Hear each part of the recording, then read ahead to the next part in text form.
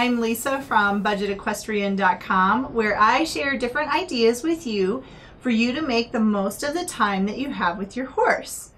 And about a week ago, I uploaded a video of a trip I took to Dover Saddlery to buy something that I've been wanting to try. That's what this video is today.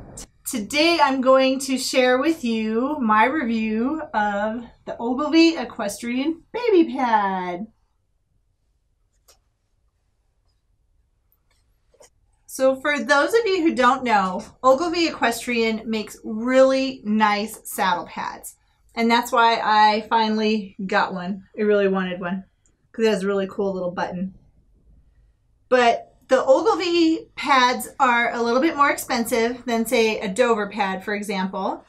At Dover Saddlery, the Ogilvy pad was $39.99 and a Dover, ooh, that's dirty. A Dover Saddlery saddle pad is about $20. You can usually find them on sale too for about $14.99. I really wanted to try the Ogilvy pad because it gets so many good reviews.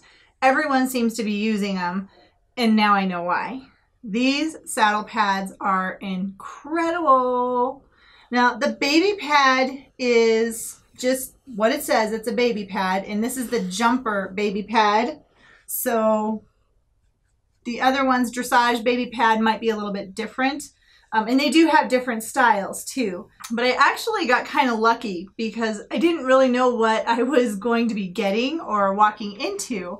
So I just went to Dover and I was like, yep, that's the Ogilvy pad. I want it in blue. And there it was. So I got it and it worked out really good the thing that stands out to me the most with this saddle pad versus any other saddle pads that I own is there's no billet straps. No straps here, no straps down here for your girth. I didn't really think about it and then I put it on my horse and I was amazed. The pad does not move. It has a brushed poly like underside. I don't know if you can see that. Hopefully it's pretty clean. I just washed it today but it keeps the pad in place. This thing will not move. It is so awesome. And it also is antibacterial and antifungal, so you won't have to worry about getting bacteria on your saddle pad or your saddle. And it's also breathable. Ogilvy Equestrian is from Canada. Have a cute little Canadian flag on there, made in Canada. And after I bought this pad, I went to Ogilvy Equestrian's website and you can actually buy pads from them directly. It does cost a little bit more to have it shipped to the US. However, if you wanted to make a custom pad, so you wanted to pick a different color than the ones that you can find locally, like in your tack store, you can get them on Ogilvy Equestrian's website, custom color, so you can pick the color. Then you can pick the color of the trim around the edge of the saddle pad, and it doesn't cost you any more than buying this pad at a tack store locally, which was really neat. Actually, it was to get this one, it would have been $37. So I would have saved $2.99 if I went to Ogilvy Equestrian originally, but it would cost a little bit more for the shipping. I haven't decided if I'm going to get the Ogilvy half pad. And I'm sure you've seen that. They're beautiful too. And they've gotten lots of good reviews. Again, that's why I wanted to try this. Yes, it's a little more expensive than the traditional saddle pads that we all seem to have. I have a lot. But since I've used this pad, I haven't used anything else. And another bonus is it's really easy to wash. So it's already dirty. So I've used this pad twice and I washed it today. When you're washing it, you just put it in the washing machine on delicate cycle and put a little bit of soap in there and you wash it in cold water and it rinses in cold water. And then when it's done washing, you just hang it out to dry. So it was a really windy day, which you'll see in a little bit when I put this on Frisbee. But I washed it this morning before I went to work and my husband put it out to dry for me and it's dry and it's ready to go. And it looks beautiful again. It looks like brand new. I used it last night on Frisbee and he was really dirty and you could see the dirt marks from him. That's probably the only negative I would say with the black. The dust shows up. So it kind of makes you have to wash it. So maybe it's not such a bad thing. I'm sure you've seen on Instagram and other places the little Ogilvy button. That's the one thing that sets these pads apart as far as when you're looking at them. Can you see the little Ogilvy button? I hope so. But that's basically just to show everybody that you have an Ogilvy pad. I'm pretty sure once you use this pad, if you do decide to try it out, you will be amazed if you haven't already tried it out. I got to thinking about getting this saddle pad after watching another YouTuber, Black Havoc and Courtney, and I watched her review on it and she had a burgundy pad and I was like, huh, that looks pretty nice. I think I'm gonna try it.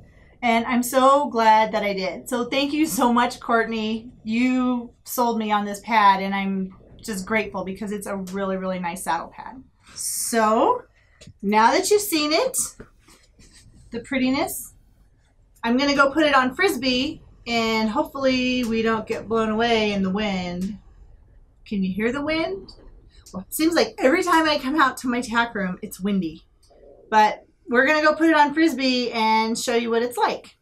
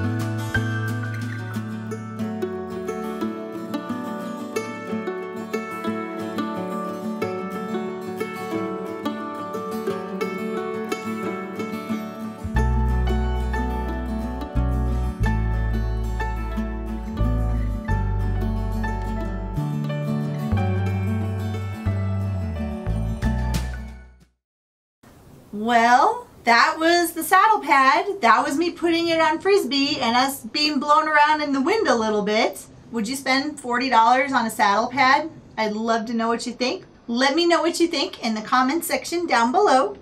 And tell me what you think about a $40 saddle pad and if you've ever tried an Ogilvy and if you noticed a difference.